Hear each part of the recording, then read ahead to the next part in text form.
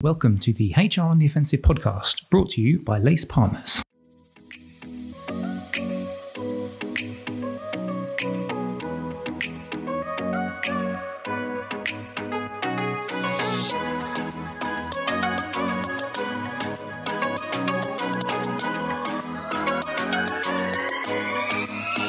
Morning, good afternoon, and good evening, and welcome to the latest HR on the Offensive podcast. It's me, Chris Howard, joining you as always on our weekly podcast that we release. Today's podcast is going to be a very interesting one. It's a jam packed one because we have just launched at LACE Partners our latest HR shared services trends report for 2024. Now, we actually launched the report for the first time in 2020. We did an updated iteration in 2022. And then at the end of last year, it was that we recorded a lot of the data. We went out to over 30 senior HR shared services professionals. And what we thought we'd do today, now that we've launched the report, is talk a little bit about it. And to do that, I am joined by a trio of fabulous ladies. I will introduce the laces first. It's Dawn Goodall. Dawn, you all right? Yeah, absolutely. Looking forward to chewing the HR shared services trends fat. Always. Lovely. And my co host, the fabulous partner in crime, back again for the first time podcasting in ages. It's Emma Leonis-Hughes. Ems, you all right? I am really good, thank you. Yes, Chris, it's great to be back on. Yes, it's really, really good. Probably two years now, actually. It's Yeah. been a while, but she's back. She's back. I love it. And we've got a lovely external guest joining us today. It's uh, Nadia Hutchinson. Nadia, how are you doing? Um, great to be here, and I'm very well on this Monday morning. Thank you. Yes, on this Monday morning. Right, before we get into the actual number of the report, though, we should probably do some intros. So, Nadia, as our guest, I'll let you kick off. Could you tell our wonderful listeners a little bit about yourself, your business you work for, and also some of the initiatives that you get involved with in the shared services space as well? So, I'm Nadia Hutchinson. I've been in the HR, shared services, and transformation space for the best part of 20 plus years. I typically work for FTSE and Fortune 20s. If you like, and I've been involved in some some very large transformation projects, which are global projects. I myself have worked as a global leader for a long, long, long, long, long time. I lead globally dispersed teams across the planet, and those teams do typical HR transactional work, but also as part of what I do, they get involved in mergers and acquisitions. They get involved in a huge amount of work around data. Data privacy, data compliance, and my superpower, if you like, is I fully understand payroll globally end to end. So that's me. And then in terms of what I do outside of my corporate job, I get heavily immersed in the world of the Shared Services and Outsourcing Network, which is a global organization that brings all of the leaders, both in, in any shared services capacity, together. And I've just become a co founder and I sit on the board of a charity called Conduto, which is a mentoring organization specifically aimed at mentoring women, female leaders in the shared services and GBS space. That's lovely. And of course, what we'll do is we'll put some more details about that in the show notes when we release the podcast itself. But Emma, as my co host, I feel like we need to do a little bit of a framing exercise on the shared services trends report there'll be some people that maybe haven't actually seen the report before or heard of some of its previous iterations. So, can you give us a little bit of an intro into the context of the report, why we've we started doing it in 2020 and why we've done new iterations, and then also the link that we've got to our demystifying HR operating models campaigns, and then we'll get into the nub of some of the, the specific questions or specific trends that we saw in the report. Yeah, sure. Very happy to do so, Chris. Shared services, particularly HR shared services, is a passion of mine. I am a self confessed geek. Those of you who've listened to various pods in the past with me will know that. Um, so I'm not ashamed to say that. But I guess, sort of roll back four years to your, your question, Chris. We were doing HR transformation work at LACE, working with CPOs, HR directors and their teams. We reflected back and said the HR operating model. There's a lot out there around finance shared services, around procurement, around IT. But in the HR space specifically, when clients were saying to us, well, what are other organizations doing? Clearly, we know we, we're working with, with organizations ourselves, so we could give our perspective. But there's not there wasn't a lot in the marketplace around hr shared services specifically. So you've got broader global business services um, kind of reports and stuff which are fantastic but hr is a very different discipline and very different area to the likes of finance it etc so when looking at sort of how usable comparable relatable some of those insights and trends were from other functions into hr it struck us actually as maybe an opportunity to, to do something specific for HR. But also, really, what drove it more than that was, to be honest, my point of view of I was pretty sick and tired of hearing people out there going, oh, HR shared services is only an admin function. Sorry, I say it with that voice because that's not true. I knew that. The clients we were working with knew that.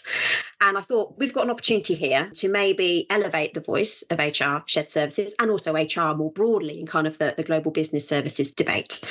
That's where, therefore, the research came from. Back in 2020, it was the first time we'd done it. So we basically spoke to sort of 25 different organizations, but global HR shared services leaders in those organizations, more from an interview sort of standpoint. So it was very much heavily research based themes, soundbite snippets to bring to life a variety of different insights across the topics that you will see in the latest report. We then decided in 2022 to do it again, and then in 2024 to do it again, because whilst maybe kind of the overarching topic areas of governance, experience, continuous improvement, digital, all those types of things might not change. The priorities and focus areas within those might do based on maybe external market trends and pressures, for example, or it could be in just, even in some industries, certain things are happening. So we decided to do it biannually. It seems to have, have resonated in the marketplace. And what's quite interesting when we come onto the trends is the shift in maybe some of the perceptions, and maybe we're not having to beat the drum so much about the value that HR shared services can add now. I think maybe some of that debate has lessened a little,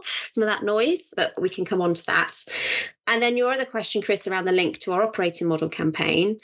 So again, one of the things, and these things go in cycles, don't they? You know, there's the whole: do we outsource? Do we insource? Do we GBS? Do we not? Do we change our operating model? They all go in cycles. Seems to me, uh, business strategy does that. So right now, again, with our kind of HR directors and the clients that we're working with, there is a lot of conversation around what should we do with our HR operating model. We know we need to change something. We're not quite sure what that might be, and actually, we don't have the luxury of ripping up everything and just starting from scratch. Very few organisations do have that opportunity. So, again, what we wanted to do here was tie in, I guess, some of the research into what might be some of the levers that you could pull, perhaps around your structure or the way you measure experience or the way you build agility into your ways of working. It could be through processes, it could be using technology to actually change the outcomes that you get from your HR operating model within the shared service world. So, the whole HR operating model campaign, there's lots more around that. Those of you who sign up to the campaign and, and listen to our podcast in weeks to come will hear us talk around four business lenses agility, productivity, customer intimacy and also growth. And in the report itself, here for HR shared services, we've alluded to a few reflection questions on each of those dimensions. Maybe things that you can, could consider across your HR operating model for shared services to deliver those business outcomes. So yeah. just to whet the appetite there a little bit. And I know a long-winded winded answer, but yeah, we're passionate about this stuff, I guess, Chris, as you know. We certainly are, yes. And as Emma mentioned, we've got podcasts. We've also got another uh, white paper that we relaunched, just kind of framing it, which was around workforce transformation. So check that one out. Um, that's on the LACE Partners uh, website and on the campaign page itself.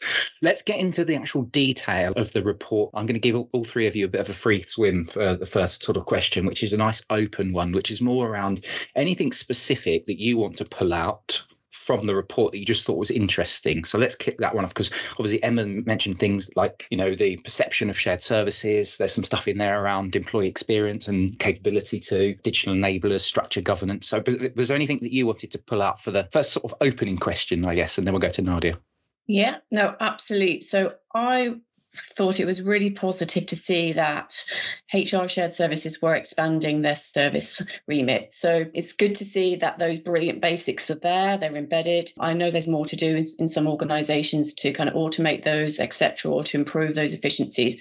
However, it's really good to see new services going there. So we see things, more specialist stuff, so payroll, for example, even um, employee relations, mobility. So that was really encouraging to see because that means that value of the brilliant basics is already there and people understand that. So they're, you know, confident more can go and be done. And also, it really does give that um, opportunity for the shared services teams themselves for career development and to give them more opportunities to work on more specialist stuff and grow within the HR shared services remit as well.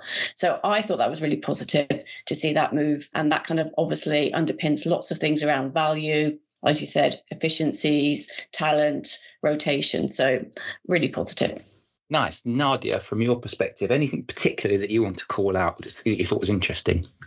The whole discussion around capabilities and skills is really important for me. So, as we've moved away from just being the admin and transaction house, as Emma talked about, the type of people that we need in our organizations is different. And a lot of it's mindset, but it is about being able to do more and use your own initiative to do more. Um, so, you're less instruction based and I need people who can negotiate. I need people who can manage vendors.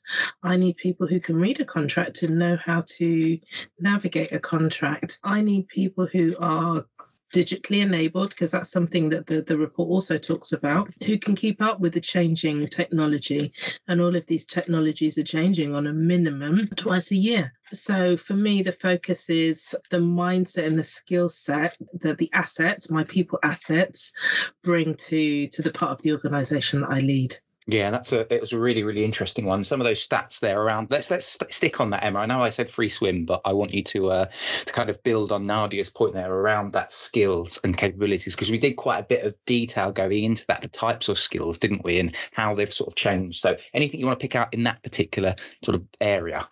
I was actually going to say very similar to Nadia to, to your first question, which I am going to go back to. So I suppose it's two sides of a coin to me. So on the skills and behaviours piece, what's great to see is that there is much more of a recognition that we need to focus, we being shared service professionals, need to focus on skills such as continuous improvement, collaboration, etc. So not just I know how to do a process and I know I can deliver that process well. It's kind of a given, really, if you're going to be an effective HR practitioner anyway.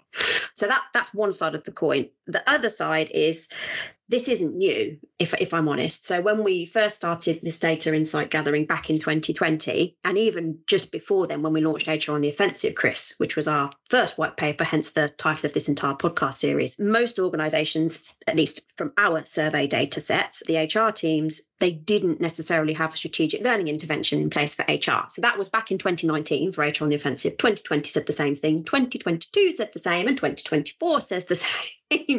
so, whilst yes, it's encouraging that we are looking to develop new skills, we're recognizing what they might be, and also thinking around the impact digital has on, on those skills, and actually thinking perhaps about building a skills plan now.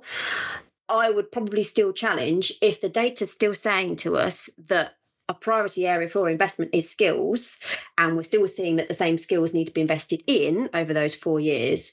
Are we doing enough to support the investment of teams? And I'd love Nadia your your perspective on this, but at least from some of the conversations I've had, it's not necessarily we don't know what we need to invest in. I think it's yes, we do need to know we need to do something. We want to build career paths. It's at the end of the day, when push comes to shove, we have to put our budget elsewhere. And, and I suppose my question is, what can we do both externally but also within organisations to help really beat the drum a little bit more and build the business case and value case, I guess, to truly invest in HR shared service teams, but also probably the broader HR function, to be honest, because I don't think it's necessarily just a challenge for HR shared services. So I'd love your perspective on that, Nadia. I completely agree. So, the first point I agree with it's not just the shared services part of the HR organization or the organization as a whole, it's the client base. And the client base includes the HR business partners and it includes the business. They need to, as an example, a silly example, reporting and analytics often sits within HR shared services. So we will send you some information, a dashboard, some stats, figures. You need to be able to read them and interpret them and understand them. And oftentimes the response is, well, the data's wrong. Well, no, actually, the data is as it is it's factual. Are you do you have the skills to interpret the data that has been sent to you? That's just a small example. In terms of part of the question that talks about what can we be doing to educate upskill our teams if money is an object if it's an issue there are so many things you can do without spending money. There are your technology conferences. So if you're an HCM house, all of your HCM providers have two annual conferences a year or, or at least one. Send your teams to those conferences. If the vendor says that um, you have to pay for their attendance, I would beg to differ if you have a contract with them. There are the industry networks, the forums. Um, I mentioned SSON, that's only one of many. Make sure you're, they're going to, you know, the Gartner conference or the Everest conference. LinkedIn will is constantly sending webinars, seminars. This podcast, for example, is actually a form of learning. Make sure your teams are plugged in, get those newsletters, are listening to the voices in the industry.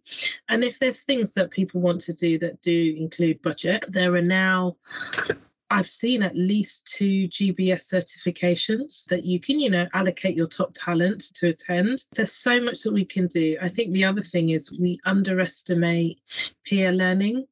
So if I'm in HR shared services, there are some themes that are pretty similar in finance in the finance side of the house. Do a secondment, get people working on cross cross functional or cross team projects.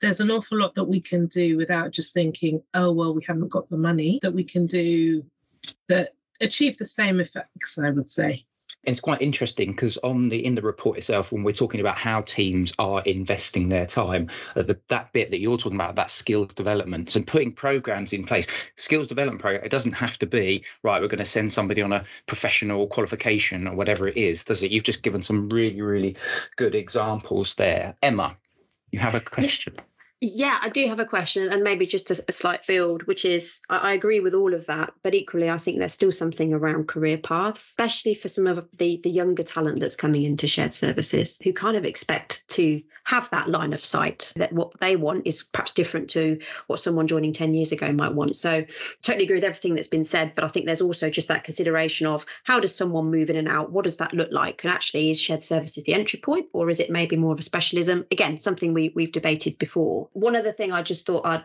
call out to those people who maybe wanted to whet the appetite a little bit before they dive into the report was on collaboration was quite a rise i guess this year in terms of where it ranked in skills priorities which is quite interesting. Nadia it may, may link to what you were saying around the need to kind of work more end to end not just in hr shared services but with the rest of hr other functions. So again you know that's that's a softer skill in, in inverted commas. Um, so how do we start to really focus on that? What does success look like with collaboration? There's so many different ways, obviously, that we we could build that. I, want to bring Dawn in just to get some thoughts, Dawn, from your perspective. So we've obviously broken down the report into different sort of sections and some of the key sort of trends and bits like that. Can I just get your thoughts from the digital enablers side? Can we just sort of expand out a little bit on that and some of the interesting bits that we were we were talking about in the report that you want to kind of pick out, and maybe we can have a little bit of a discussion as a collective on some of those digital enabler pieces. Yeah, no, absolutely. I think it's a obviously a hot topic area. What it what was a little bit surprising was that we saw there was still in some space a lack of investment in, in technology and in digital, which is really sad to see to be honest and people still saying they're using outdated systems and that the systems are letting them down not you know not enabling them to get those operational efficiencies so that and there's um you know people still being heavy reliant on email um, having outdated case management systems, etc.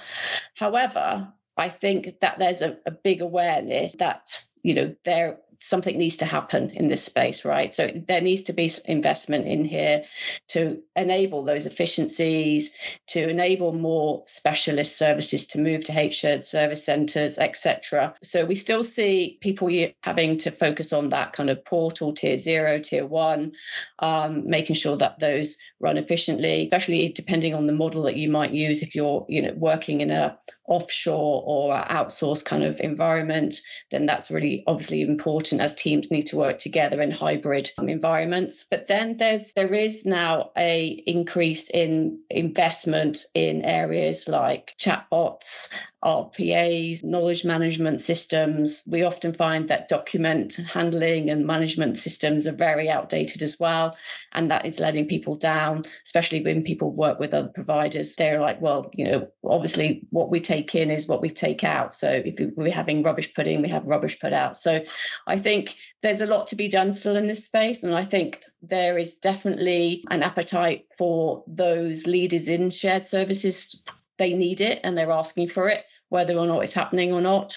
It's sadly not always where the investment is going, but definitely a lot you can advance with these days in terms of your chatbots, your case management system, your portal system. I mean, that's where you're going to, you know, get your efficiencies from, right? So it's it's worth the investment. It's just getting that investment that seems to be the difficulty that we're seeing still.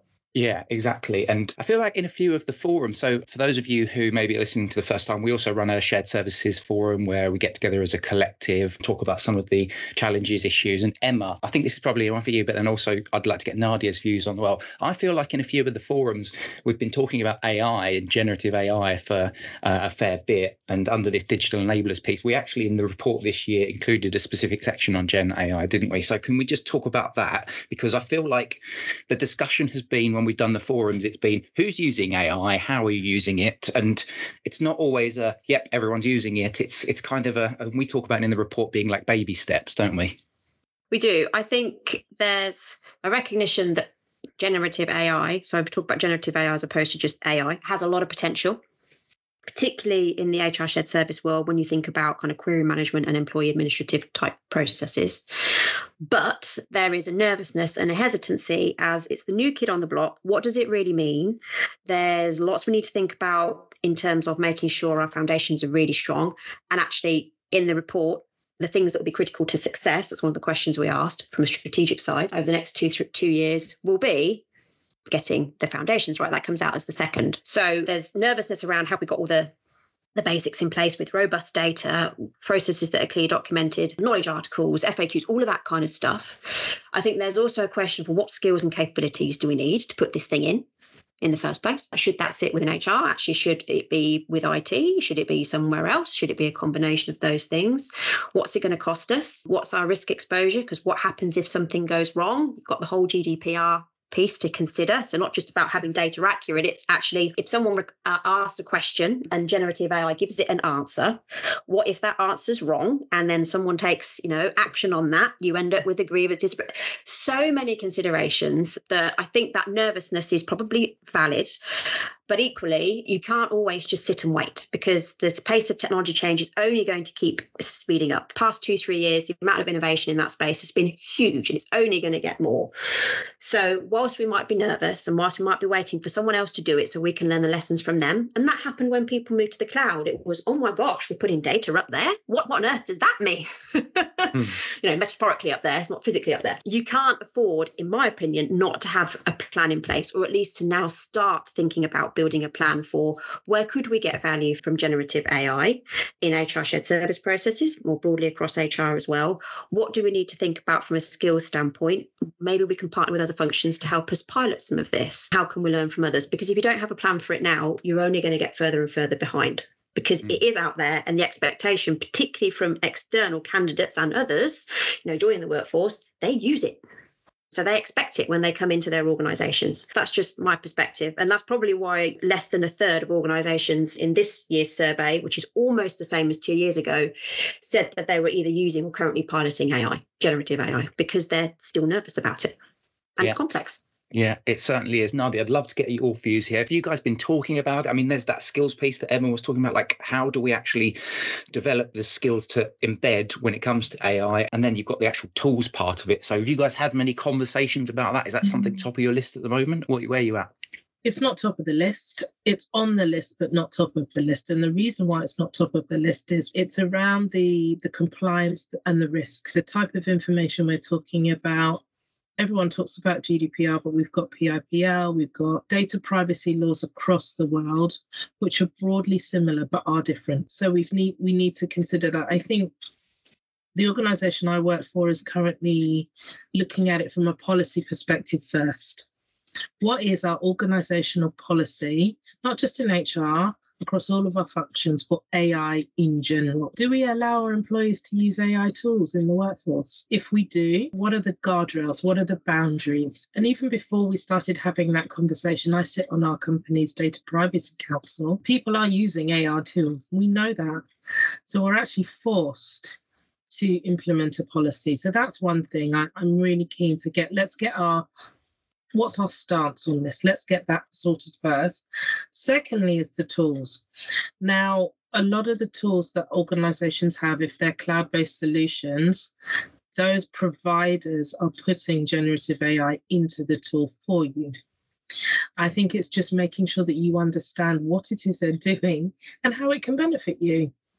And that's a starting point rather than you putting pressure on yourself as an organization to go out and be part of this new thing, find out what's available at your fingertips and how fast it's moving. I mean, my thinking is still evolving in this space, not evolving because of fear, but evolving because of what I've seen on your Instagrams, your metas, you know, it can be quite scary and quite dangerous. So that's where my mind is still getting my own position grounded first.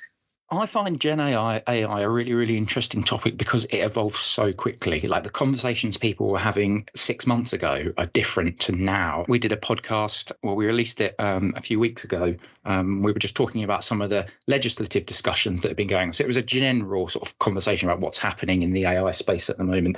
And even then, we were talking about how you've got the ChatGPTs of this world are starting to ring fence sort of corner because there's data issues around, you know, pumping out company sensitive information onto these sort of generative AI bots. But it's just moving so quickly that it's something that I think that reflects in the report. It's something that people are thinking about.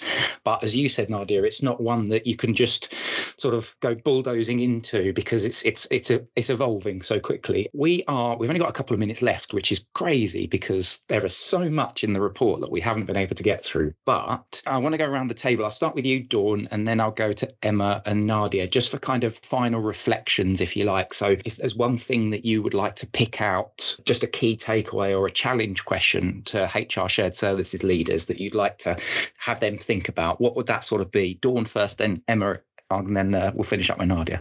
Yeah, I'd say there's a more conscious focus on continuous improvement. And I think that will actually, we've talked about skills. Obviously, it's linked to that, the technology enablers moving more work into shared services. I think that continuous improvement mindset is really important, whether whatever structure your shared services, if it's outsourced, GBS, in-house, etc. But I think that at least is getting a bigger focus. People are measuring performance, KPIs, the whole service management piece. So they need to have that kind of mindset about service and making sure that they are evolving it as well. And there's not just the status quo year on year. So I think that for me is a big one, that more conscious focus on continuous improvement. Chris. Lovely. And Ems, from your side? Very hard for me to just choose one, but I will obviously try to do that. And it'd be hmm. different to some of those I've already thrown out there. Maybe one thing just to reflect on is do you share your successes, your team's successes sufficiently? So it's very easy to kind of go, yeah, we're doing a great job, and everyone in the team knows, and our, our, dashboards are kind of green. Not everybody sees everything that you do. Some of the most brilliant things that an HR shared service organization does just happen like payroll runs smoothly so unless it's broken no one makes you know no one shouts about it for example i use that just as one process but it's ultimately the one that everyone cares about because we want to get paid correctly but linking to dawn's point you know continuous improvement we're thinking about continuing to articulate the value we can bring, we perhaps just need to be a little bit more bold in saying, hey, this is all the cool stuff that we've done. And, and not lose sight of that. And I'm not, not saying that that doesn't happen, but sometimes you can just be very, oh, let's just crack on with the day to day and the next thing happens. And actually, when you step back and reflect, there's so many brilliant things that happen. And also, that then helps elevate from a career standpoint side, maybe people thinking about coming into shared services when they hear all the cool things that are going on.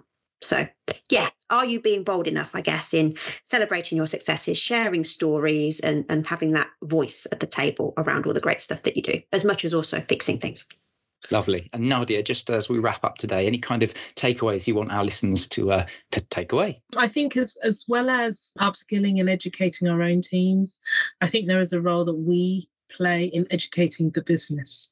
So it kind of links to what Emma's talking about in terms of sharing successes in the PR of HR shared services. Yes, let's blow our own trumpet a lot more, but also let's educate the business in terms of these are the things we can do for you. These are the things we will do for you. And these are the things that we are already doing for you that you actually don't know about. There's a beautiful message in, in all of that. That's lovely. Thank you very much, Nadia, for your uh, your time today. Really, really appreciate that you've been able to uh, gift us some time just chat through some of the report uh, findings, the trends report findings as well. What we'll do is we'll put a link to the page which you can download the report. So if you're listening to this and you want to have a little read of the report, there'll be a link in there that you can access as well via our website. Other than that, Emma, thank you very much as always. Partner in crime. Thank you. You didn't give me a kind of duo today. It used to be Batman and Robin and whatever. Is I it because you've just run out now? That's it. I've run out of I've run out of comedy duos to do. But uh, thank you very much, and Dawn. Thank you very much. Brilliant. Thank you. Yeah, it's been great. Um, of course, you can get this podcast wherever you get your podcasts. Um, you can access all of our shared ser- services trends. And also, Emma mentioned right at the beginning the HR operating model. So there's a whole bunch of content that you can access there too on the Lace Partners website. You just go to the insights section. So it's lacepartners.co.uk forward slash insights, and you will find all of our great stuff there. On behalf of myself, Nadia, Emma, and Dawn, thank you very much for listening. And hopefully, we'll catch you next time on the HR on the Offensive podcast. Bye bye.